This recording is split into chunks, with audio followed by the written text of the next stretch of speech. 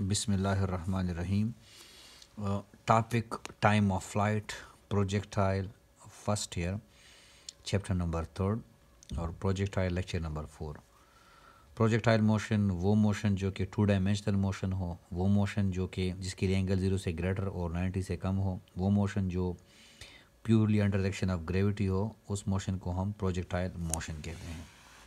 Projectile motion में resultant velocity height और की लेक्चर्स अपलोड हो चुके हैं लेक्चर नंबर फोर है time of flight projectile lecture number four time of flight का मतलब क्या है प्रोजेक्टाइल जो कि यहाँ से फायर किया गया है और यहाँ पे point of projection point of impact इसके दरमियान ये जो टाइम ड्यूरेशन है ये टाइम इसको हम टाइम ऑफ़ फ़्लाइट कहेंगे that is actually duration required for a projectile to complete its entire journey known as time of flight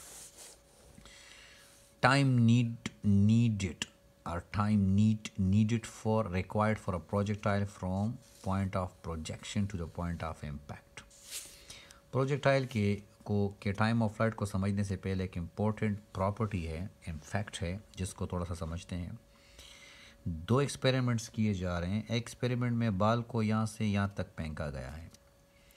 बाल को यहाँ से यहाँ तक फेंका गया है। लेट सपोज़ बाल 10 सेकंड ले रहा है।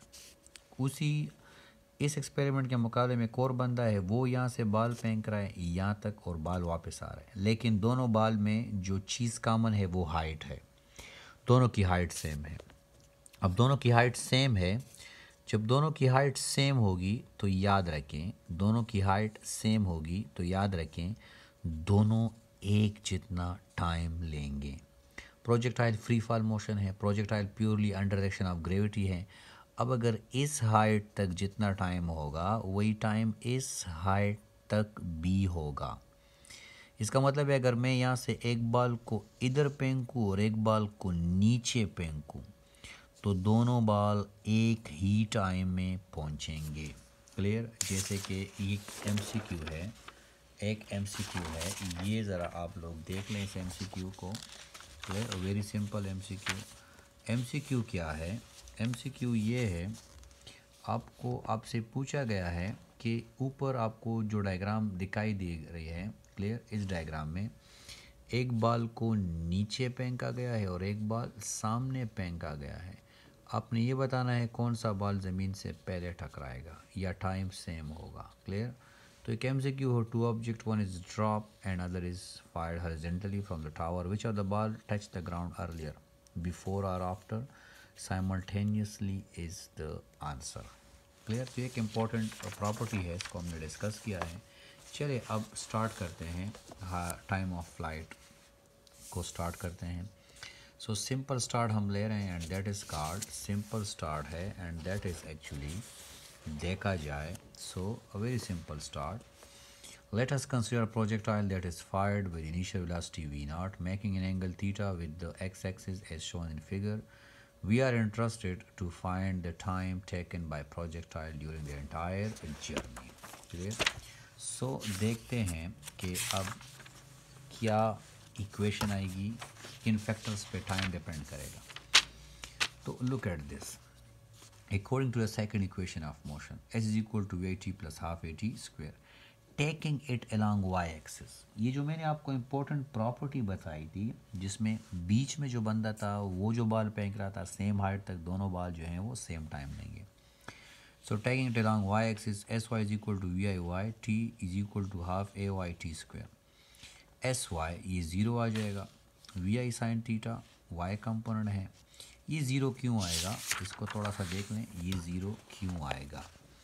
ये बंदा बाल यहाँ से फेंक रहा है और यहीं पे कैच कर रहा है। तो डिस्प्लेसमेंट क्या हो जाएगा? ज़ीरो हो जाएगा।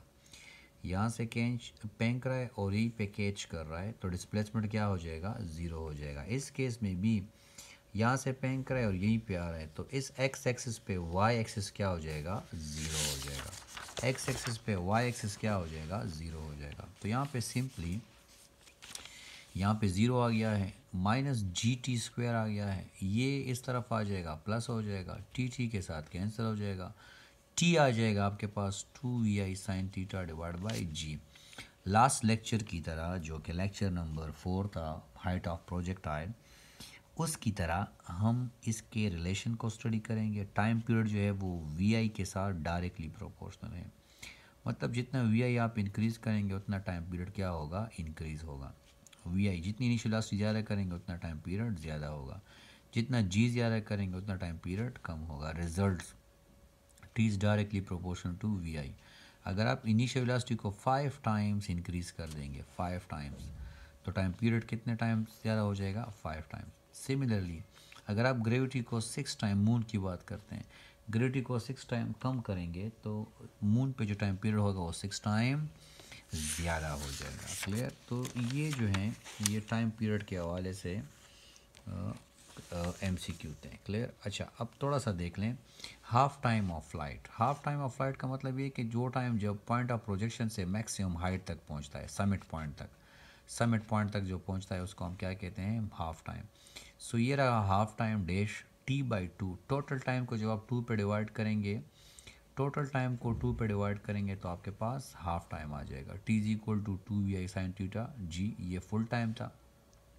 हाफ़ टाइम के लिए इसको टू पे डिवाइड कर देंगे। Simple two v i sine theta divide by g full time है और टू जब कट जाएगा तो v i sine theta divide by g half time हो जाएगा। क्लियर अच्छा इंपॉर्टेंट ईटा के लिहाज से इंपॉर्टेंट रिलेशन है relation between height and time of flight relation between height and time of flight t is equal to two v i sine theta divide by g v i sine square theta is equal to g t by two क्या मतलब है? मतलब ये है कि यहाँ से just हमने वी आई साइन थीटा को साइड पे कर दिया है और जी टी बाई टू को साइड पे कर दिया है। साइड पे करने का मकसद ये था कि हम हाइट में इसको पुट कर सकें। तो v i square sine square theta two ये स्क्वेयर आ गया है यहाँ पे। H is equal to v i square sine square theta divide by two g अब v i square sine square theta की जगह हमने इसकी वैल्यू पुट कर दिया है। क्लियर ओके तो यहाँ पे इसकी वैल्यू पुट कर दी v square theta value put करेंगे तो सिंपल रिलेशन आ जाएगा। Is equal to t square g t square divide by eight g t square divide by eight g t square divide by eight equation आ जाएगा। इस question को past paper में utilise किया गया है M C Q two thousand eighteen height one seventy है time twelve point five है जी unknown है, आपने जी बताना है। इसी रिलेशन को हम यूज़ करेंगे g is equal to eight h divide by t square g is equal to eight h divide by t h की जगह पे हमने वन सेवेंटी लिख दिया है clear t twelve point five है। याद रखिए, एक शॉर्ट ट्रिक है, मैंने इसी चैनल पे वीडियो लेक्चर अपलोड किया है, जिसमें मैं ख़ुद वाइट बोर्ड पे इसको प्रेजेंट कर रहा हूँ। तरीका क्या है ट्वेल्व पॉइंट फाइव इसका स्क्वायर ट्वेल्व पॉइंट फाइव को थर्टीन कर दें अप्रोक्सीमेशन में तो थर्टीन थर्टीन से वन सिक्सटी नाइन आ जाएगा। वन सिक्सटी नाइन से वन सेवेंटी के करीब है, ये दोनों कट जाएँगे और एट आंसर आ जाएगा। ऑप्शन में जो एट के करीब होगा, वही हमारा आंसर होगा। क्लियर अच्छा इसी इसी रिलेशन को जो कि ये है h is equal to g t square divide by eight इसी के लिहाज से कोर एम सी क्यू है h g t square by g यहाँ पे आ गया है टी स्क्वेयर यहाँ पे आ गया है एच टी स्क्वेयर जी की जगह टेन आ गया है। अच्छा ratio of height to the square of time period is equal to five ratio four इस लेक्चर को गौर से देखें, कोई भी मसला हो, किसी भी स्टेप में मसला हो you can ask the question at comments okay wish you best of luck